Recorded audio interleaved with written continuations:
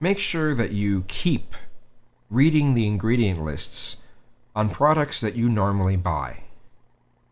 I've been finding more recently that products that I used to I used to like a lot. Um, I mean, not that much, but they were cheap things that I would sometimes enjoy, like Tampico and Hawaiian Punch. Um, number of types of cocoa, for instance, you know, hot cocoa. Um, yeah, they are not the formula they were before.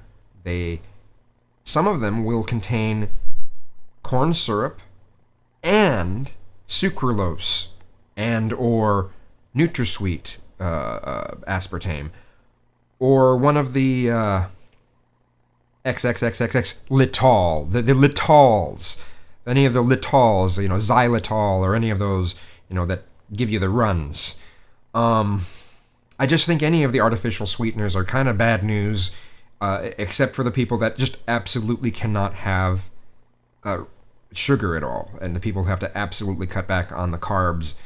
Um, yeah, if their lives depend on that, yeah, then they, you know, if they want something that has a sweet taste, then they're going to have to go with that. But, you know, people that are drinking something that, or ingesting something that they already expect to have sugar in it, and does have sugar or corn syrup in it, uh, they shouldn't expect to get all this garbage in it.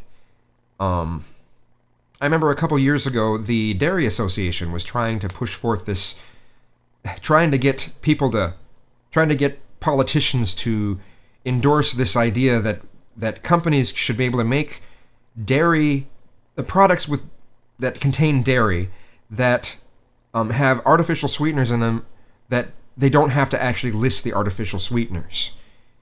Um, I don't know. It's just disturbing to me. I, I find it odd that it, it just almost seems like these artificial sweeteners are going to be cheaper than the corn syrups or the sugars. I mean, they already did the corn syrup because it was cheaper than the sugar, but now the artificial sweeteners are cheaper to produce than the than the real sweeteners.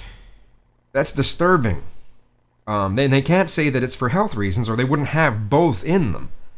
So yeah, keep reading your ingredients on all the things that you buy.